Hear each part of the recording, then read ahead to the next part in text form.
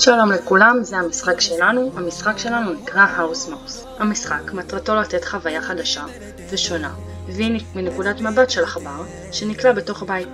נרצה לאסוף אוכל, להתחמק ממלכודות ולמצוא מחילה. נתחיל. כמו שניתן לראות, המשחק שלנו בגוף ראשון, והתחושה להיות קטן מכל הרהיטים כבר נותנת החוויה שרצינו. ההוראות מצד שמאל שניתנות לשחקן כדי שיבין מה עליו לעשות, ומצד ימין למעלה יש את הבר אנרגיה שהולך ויורד. נרצה לאסוף את האנרגיה של אור שלנו על ידי לאכול את המאכלים שפזורים על הרצפה. כרגע נעבור לשלב השני. בשלב השני כפר הבית בית. מצא אותנו ואנחנו רוצים להתחמק מהמלכודות שפזורות על הרצפה. גם כאן עלינו לאסוף את האנרגיה. את הנקודת מבט אנחנו משנים על ידי העכבר והתזוזה על ידי המקשים.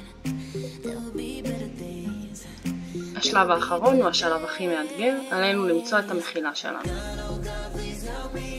המחילה נמצאת כאן, כמו שניתן לראות, על השולחן. כיצד נעלה לשם? על ידי הקופסאות שפזורות פה. איך ניקח? על ידי מקש האינטר. נלך וניקח את הקופסה הראשונה, כמובן שיש סדר מסוים שעלינו לקחת אותם כדי להצליח.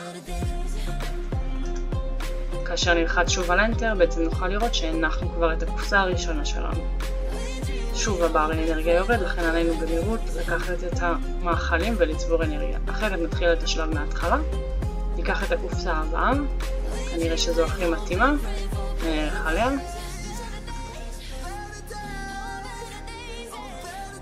נראה לאן אנחנו צריכים להניח אותה כדי שנוכל לקפוץ.